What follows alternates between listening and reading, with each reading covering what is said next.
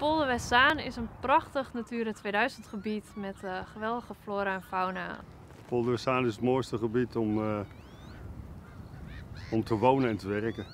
De wijsheid van het landschap, uh, het water, de natuur, de weidevogels. echt een heel belangrijk gebied voor Zaanstad. En wat ik eigenlijk nog het allerbijzonderste vind, is dat je om dat gebied heen, dat je de stad ziet en dat je denkt van, ja, maar het kan wel. En dat is ook zo mooi van dit gebied, dat het zo op de grens ligt van stad en land, dat je daardoor verbinding krijgt met, met de bewoners.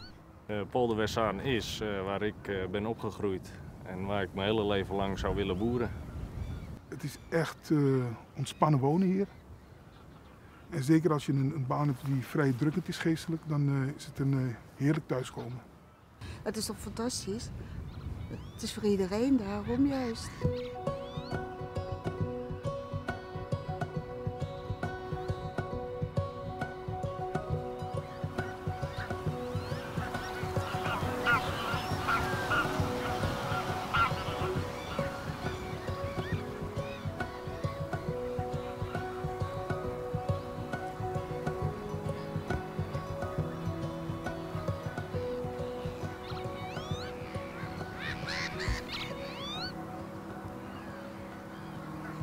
Echt de meest bijzondere plekken zijn dus die fameuze rietlanden, dus die stukjes verlandingen. En daar krijg je nou hele bijzondere soorten, zoals het uh, vleesetende plantje ronde zonnedaal. Uh, maar daar komt dus ook de Noordse woelmuis in voor. De roerdomp zit daar ook in het riet. Uh, de orchideeën. Dat is echt de meest bijzondere natuur. Maar ook gewoon hele rietpercelen, nou ja, waar onder andere die roerdom, maar ook allerlei andere rietvogels in voorkomen, is ontzettend mooi. En natuurlijk de weidevogelgraslanden, waar uh, alle weidevogels uh, op uh, terugkomen elk jaar. de grutto, de kieviet en de tureluur, dat zijn gewoon ontzettend bijzondere soorten. En juist die afwisseling maakt de polder Westzaan ontzettend mooi. Nou, wat je hier ziet is eigenlijk de, de, de geschiedenis en de identiteit van, van deze streek. het, natte, het natte veengebied, de ontginningssloten. hier, is, hier is Zaanstad eigenlijk ontstaan. Uh, maar het is natuurlijk ook een uniek natuurgebied, een Natura 2000 gebied. Met uh, op de achtergrond uh, de harde rand van de stad. Nou, we hebben ons heen, om het veld heen, daar de skyline van Westzaan. naar eigenlijk het Noordzeekanaal. Want daar, die gebieden, die industriegebieden die je daar ziet, dat is het aan de andere kant van het Noordzeekanaal, Amsterdams gebied. Dan komen we ook aan Zandam natuurlijk, industriegebied. En daar achter de huizen van Westerwatering zie je de skyline van Zandam. Dus het is rondom ingebouwd, maar de polder aan je voeten. We wonen er eigenlijk 50 meter vanaf. Dus dan, uh... ja, maar het leuke is eigenlijk, we wilden hier helemaal niet wonen. Tot eens een keertje dat we hier eventjes gingen fietsen om toch eens even te kijken. En toen hadden we zoiets van, we zitten overal dichtbij, het is helemaal niet ver weg. Ik begin dus uh, met mijn huis lopen, ik ga het pad op, natuurgebied in. En ik, uh, als ik deze kant op ga, kan ik richting Westzaan. En via Westzaan uh, zit ik zo uh, in het Kalf of, of Wormerveer. En dat loopt heerlijk een eind weg. Dit gebied is heel erg belangrijk omdat er hier sprake is van Europese topnatuur. En dat wil zeggen dat in Westzaan hebben wij brak laag veen. En dat is heel bijzonder, dat moeten we ook zeker behouden en ook waar het kan verbeteren. Omdat juist hier, dit hebben we echt nodig voor een goede leefomgeving de uitdagingen in dit gebied, dat zie je al als je om je heen kijkt. Hè. We hebben hier industrie, uh, er wonen mensen, er willen nog meer mensen gaan wonen, dus er moet gebouwd worden. Uh, je ziet de snelweg zie je lopen, dus er gaat heel veel verkeer langs. Er is een enorme stikstofdruk op dit gebied. Dat is een uitdaging die, uh, die, ja, die hier enorm is. Stikstof zorgt er eigenlijk voor dat de algemenere planten sneller gaan groeien dan die zeldzame plantjes en het dan uiteindelijk overwoekeren. En daarmee verlies je eigenlijk die bijzondere natuur en die wil je juist uh, behouden. En daarvoor moet je iets doen om de stikstof te, te gaan verminderen. Wacht even, want... Uh...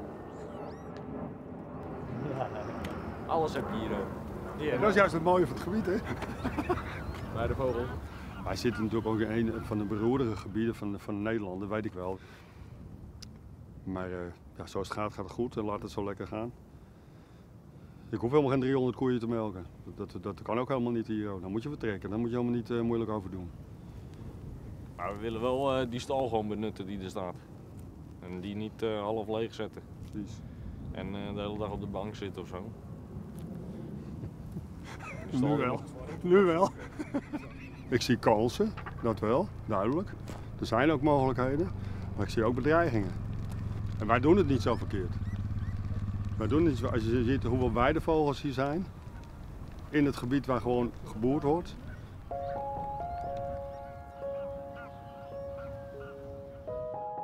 Wat we willen is dat deze natuur gewoon uh, versterkt wordt, zodat er ook verbindingen worden gemaakt met andere natuur. En wat wij nu willen is dus met die boeren en de inwoners en de bezoekers en de beheerders willen we gewoon aan de slag om, uh, om hier het gebied te gaan verbeteren. We krijgen een gebiedsplan. Daarvoor staan we hier. Dat gebiedsplan zie ik als een enorme kans voor heel veel partijen. Niet alleen een groene partij die het, die het groen in, in het bloed heeft als OBW, maar ook, ook de burgers, ook de boeren, ook de industrie. Uh, alles komt samen hier in dit hele plan. En dat zie ik als een gigakans. Ik vind het een goed plan. Laat het alsjeblieft zo houden. We hebben wel zo weinig natuur in, uh, in Nederland, zeker in Zaanstad. Ik hoop natuurlijk uh, nog een beetje wel hetzelfde. Niet helemaal volgebouwd. En ja, misschien verbrakt, dat weet je niet. Zoals het nu is, is het natuurlijk eigenlijk al perfect, wat dat betreft. En dan zijn er mogelijkheden. Maar dan moeten we om tafel gaan zitten en dan komen we eruit, dat wil ik je beloven. Alleen, je moet niet alles willen hebben. Er zijn heel veel kansen. Ik geloof er echt in dat, uh, dat we hier de bodemdaling kunnen aanpakken, dat we de natuur kunnen versterken, uh, dat we met waterberging aan de slag kunnen. Dus daar geloof ik heel erg in. Nou, dan is het nu wel van belang dat je met elkaar ook concrete plannen maakt. En daar gaan we nu mee aan de slag natuurlijk. Uh, een eindbeeld en concrete plannen om zo ook al die kansen die er zijn te gaan verzilveren. Ik hoop dat dit gebied in 2040 uh, er nou ja, beter bij ligt eigenlijk dan dat het nu is. Dat we aan natuurherstel hebben kunnen doen en dat daardoor de biodiversiteit is toegenomen. en dat eigenlijk de polder er veel beter en mooier nog bij ligt dan nu. Hoe ziet de polder eruit in 2040? Ja, dat is een, vind ik een mega ingewikkelde vraag. ik hoop in ieder geval dat de wijsheid van het landschap zoals we dat nu zien, dat dat er nog steeds is. In 2040 uh, ziet de polder eruit dat er een goede natuur is met uh, verbindingen met andere natuur. Een polder waarin toekomstbestendige boerenbedrijven zijn en een polder met uh, nieuwe recreatie. Nou, in 2040 hoop ik dat ik hier sta, misschien met een rollator, maar toch zie het riet. Zie het rietmoerasland, zie het water, zie het veenweidegebied en dat we dat heel makkelijk toegankelijk kunnen houden.